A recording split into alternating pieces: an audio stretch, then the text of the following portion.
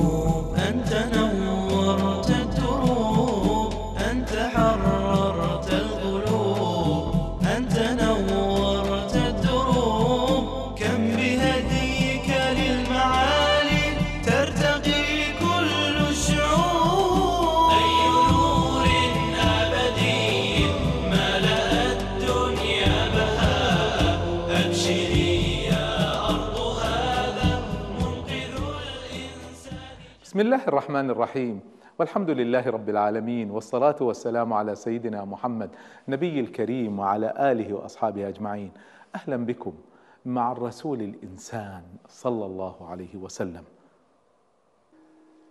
ما زلنا مع النبي المصطفى المختار كإنسان وما زلت في هذه الحلقات وإن كنت أطلت بها قليلا لكنها مهمة.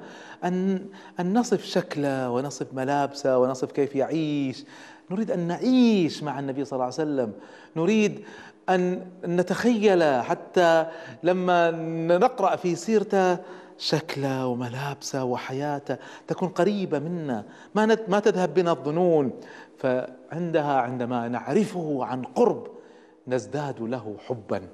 وأيضا في هذه الحلقات تصحيح لبعض المفاهيم. أنا تكلمت في الحلقة الماضية عن شيء من ملابسه وذكرت كيف كان قميصه أو ثوبه صلى الله عليه وسلم وسنتكلم اليوم عن بعض ملابسه الأخرى. وبينت أنه ما في سنن في هذه المسائل يعني ليست سنة لبس الثوب ولا العمامة ولا هذه ليست سنة. هذه قضية طبيعية بشرية والعلماء الكبار أشاروا إلى هذا. كان صلى الله عليه وسلم يلبس ما تيسر ما دام حلالا وكان المسلمون لما ذهبوا إلى البلاد المختلفة ما غيروا ملابسها إلا ما كان حراما. يعني الحرام اللي هو ال- ال- الذهب والحرير للرجال ال- الثوب الذي يصف العورة ولا يشف عن العورة بالنسبة للرجال والنساء. هذا حرام ما عدا ذلك. البسوا ما شئتم. هذه قضايا إنسانية. أنا أريد في هذه الحلقات أن نميز بينه صلى الله عليه وسلم كرسول وبينه صلى الله عليه وسلم كإنسان. من أوصاف ملابسه. عن عائشة أن النبي رضي الله عنها أن النبي صلى الله عليه وسلم صلى في خميصة لها أعلام. يعني الخميصة هي الرداء اللي هو يغطي أعلى الثوب أعلى الجسد ويكون فيه يعني رسوم. فنظر النبي صلى الله عليه وسلم إلى أعلامها نظرة.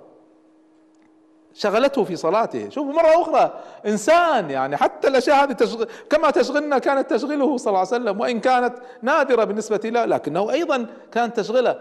فقال لما انصرف من صلاته نزعها وقال اذهبوا بخميصتي هذه إلى أبي جهم. ما هي حرام. واتوني بأن بأنبجانية أبي جهم. الأنبجانية هي كساء يعني يغطي كل الجسد. من صوف غميض غليظ ليس له صور ليس فيه رسومات. فيقول النبي صلى الله عليه وسلم عن هذه الخميصة التي يعني أرسلها لأبي جهم. لو كانت حراما ما أرسلها لأبي جهم كان مزقها ولا حرقها؟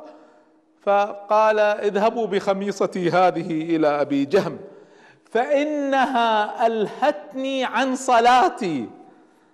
أنا أريد أن أقف هنا. يلبس ملابس فيها زخرفات وفيها صور وتشغلها في صلاة. هذا إنسان صلى الله عليه وسلم. ولذلك هو قدوتنا. يعني لو كان ليس إنسانا كان أي واحد يقول يا أخي أنا ما أقدر أقتدي به لأنه رسول وأنا ماني رسول. هو رسول لكنه إنسان. فرغم أنها تشغله بين لنا النبي صلى الله عليه وسلم ماذا يفعل الإنسان إذا صلى على سجادة تشغله ولا ملابس تشغله؟ غيرها. صلي على سجادة سادة البس ملابس سادة حتى لا تشغلك. فإذا يعني نحن نذكر هذه المسائل. جزء منها صحيح هو وصف لكن جزء منها هو فهم فهم لهذا الدين وكيف نتفاعل معاه من خلال تعلقنا واقتدائنا بالرسول الإنسان صلى الله عليه وسلم. ويروي أحد الصحابة يقول أخرجت لنا عائشة رضي الله عنها كساء ملبدا وازارا غليظا. الكساء اللي يغطي كل الجسد كما ذكرت يلبس بدون أزرار والرداء يغطي أعلى الجسد والعفو الإزار يغطي أسفل الجسد الرداء يغطي أعلى الجسد.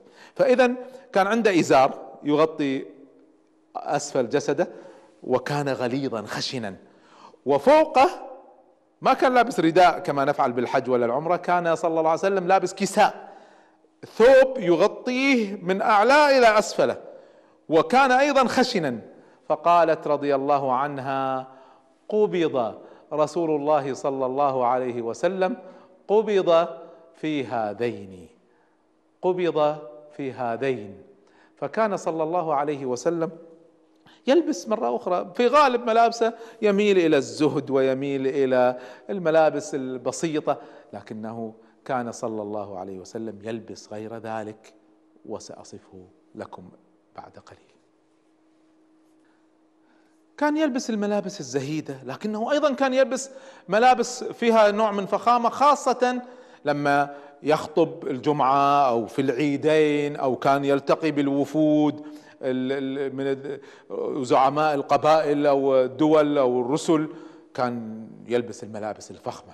ومن هذه الملابس يقول جابر بن عبد الله رضي الله عنه ما رأيت أحسن من رسول الله صلى الله عليه وسلم في حلة حمراء. الحلة مثل البشته والعبايه اللي فيها خيوط حمراء. و لبس أيضا البرده يبدو أنها نوع آخر من أنواع الملابس هذه الفخمة. وتقول عائشة لبس بردة سوداء. فقالت عائشة يا رسول الله ما أحسنها عليك؟ يشوب بياضك لأنه ذكرت لكم النبي صلى الله عليه وسلم أبيض.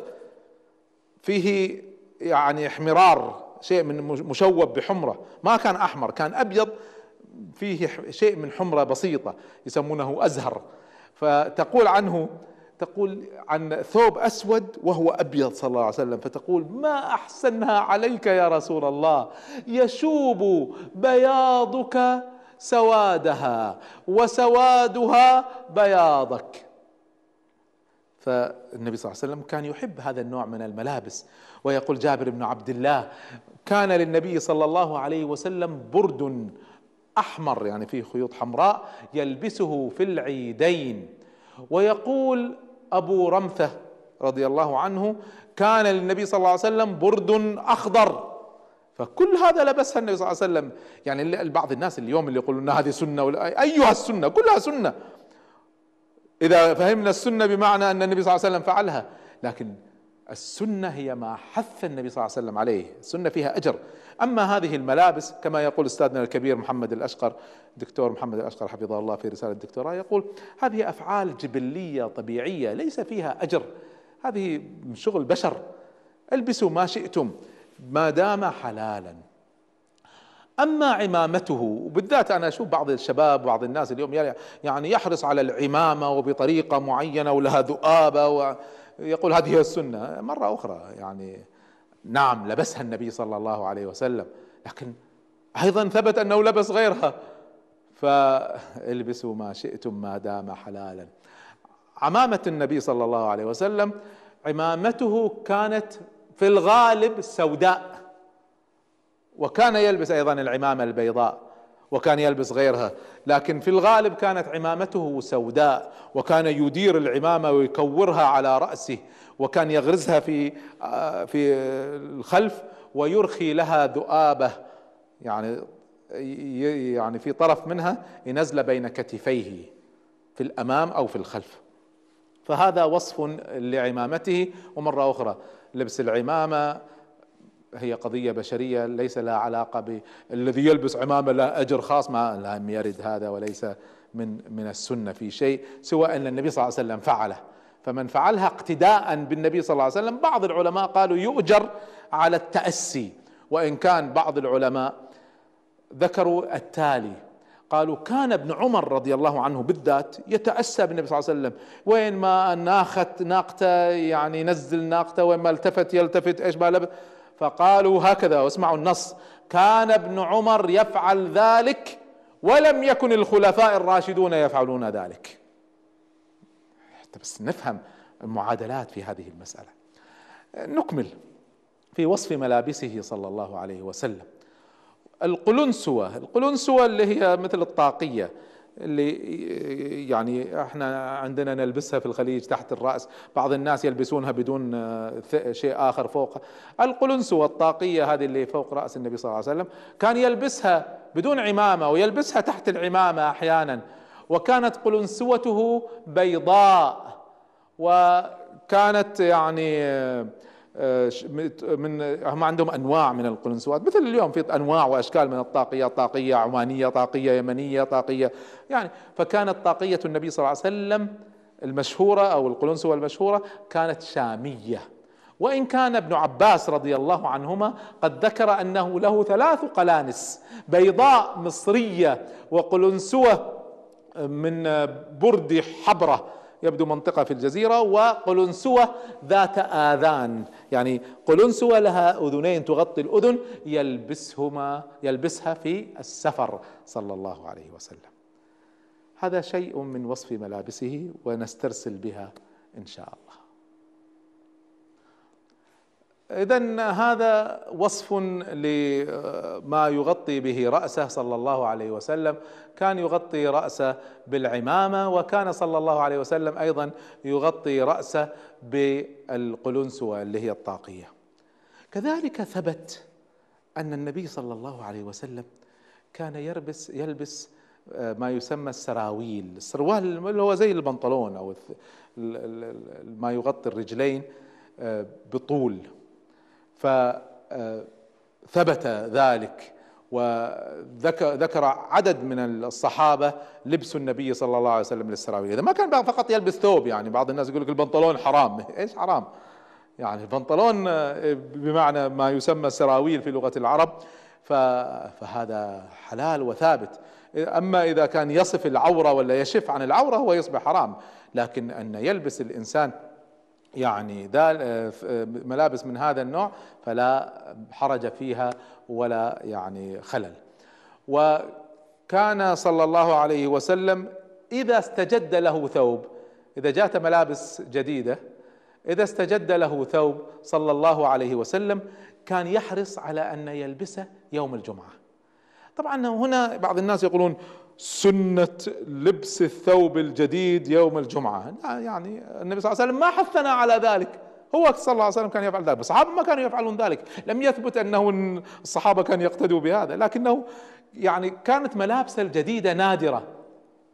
ليس كل مثلنا إحنا اليوم بعض الأحيان الواحد يغير ملابس جديدة كل أسبوع ولا شيء والنبي صلى الله عليه وسلم كان ملابسه الجديدة نادرة. فإذا جاءت أحب أن يظهر للناس يوم الجمعة مع الخطبة بثوب جديد يحب الجمال صلى الله عليه وسلم ويستمتع به وهي جزء من حياته بعض الناس. يعني صوروا لنا الدين يعني ترك للدنيا وابتعاد عنها وعدم من أين جاء ذلك؟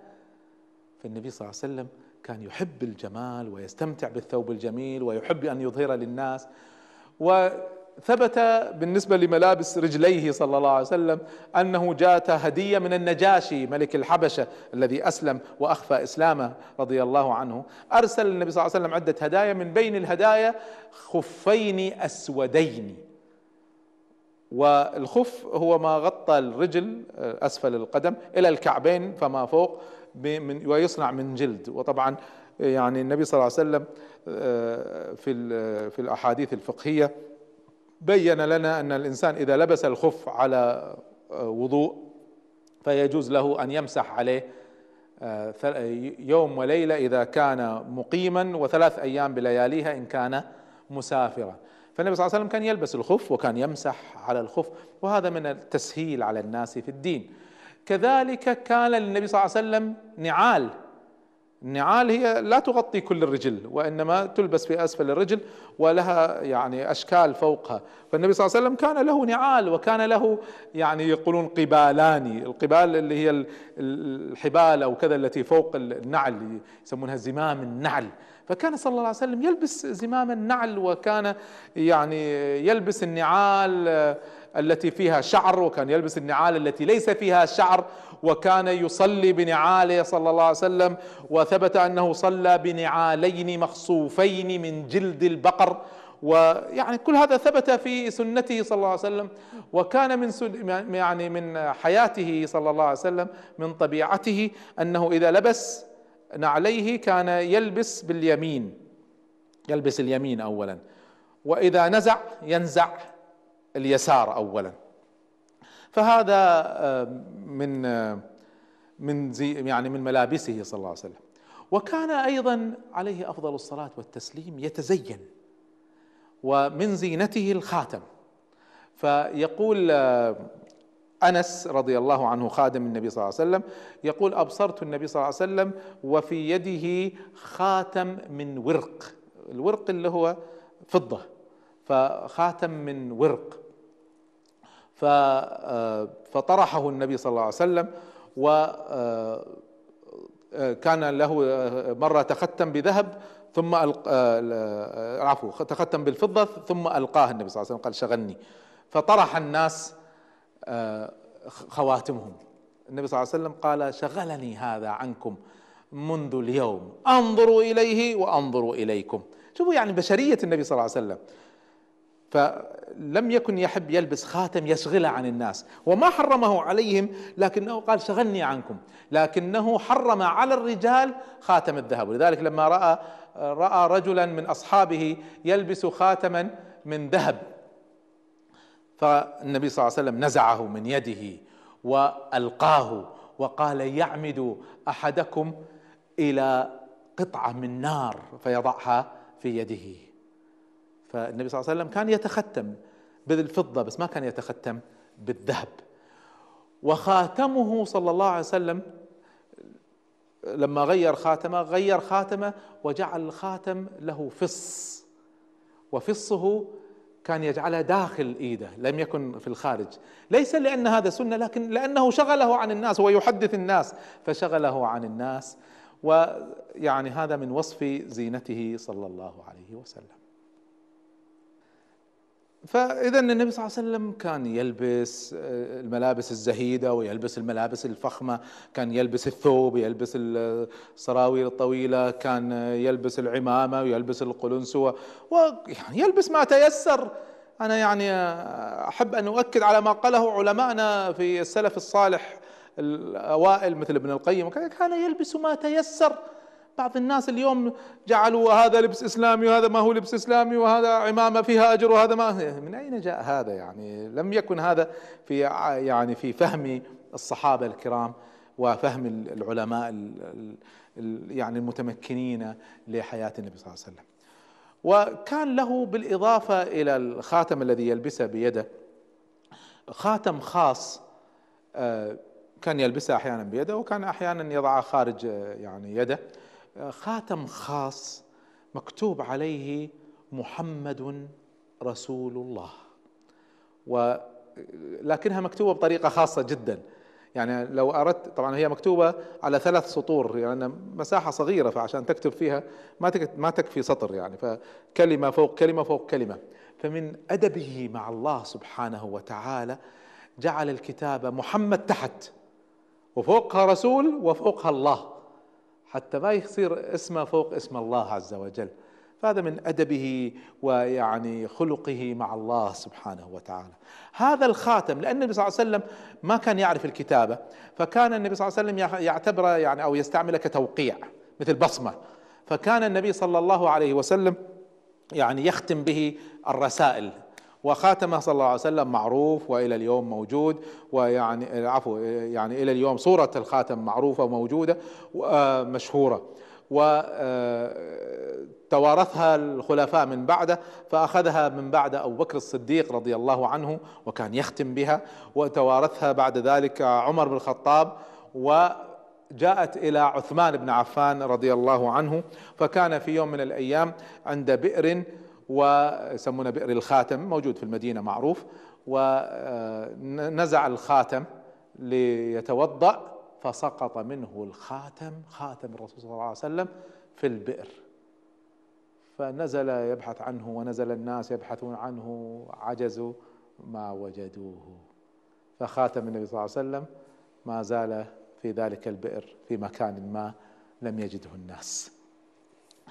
أه وفصل الصحابة يعني في ملابسه وفي شكله حتى فصلوا في خاتمه وقالوا يعني كان الفص يجعله في الداخل أحيانا ويجعله في الخارج أحيانا.